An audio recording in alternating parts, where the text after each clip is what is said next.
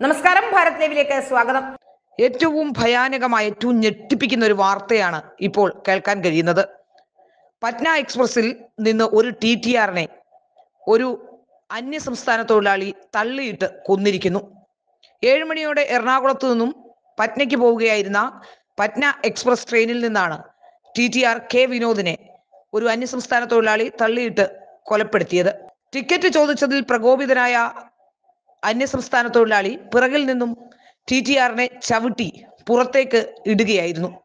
അങ്ങനെ തല റെയിൽവേ ട്രാക്കിൽ ഇടിച്ചാണ് വിനോദിന്റെ മരണം സംഭവിച്ചത്.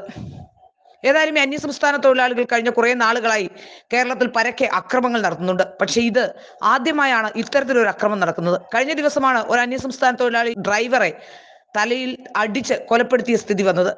അന്യ സംസ്ഥാന തൊഴിലാളികൾ പല സ്ഥല പല കൊലപാതക കേസുകളിലും ക്രിമിനൽ കേസുകളിലും പ്രതിയാണ്. പലപ്പോഴും യഥാർത്ഥമായ രേഖകളോ ഒന്നുമില്ലാതെ തന്നെയാണ് കേരളത്തിൽ വന്ന് ഇവരൊക്കെ ജോലി ചെയ്യുന്നതും. അതുപോലെ തന്നെ പീഡനമടക്കമുള്ള വിവിധ കേസുകളിൽ കേരളത്തിൽ പോലും ഇവർ പ്രതിയാകുന്നുണ്ട്.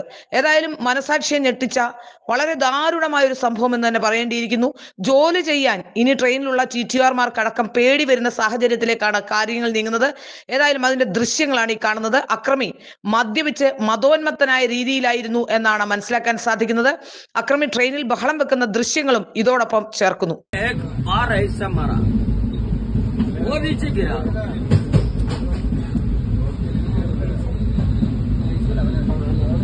भैया मुझे लेके जाओ ओडिशापुर लेके जाओ